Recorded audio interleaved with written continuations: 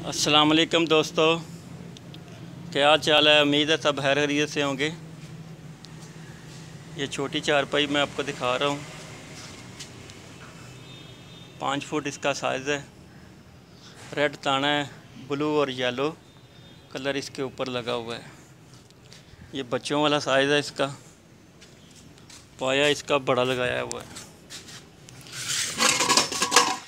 मैं दिखा देता हूँ ऐसे। ये बेबी साइज़ है।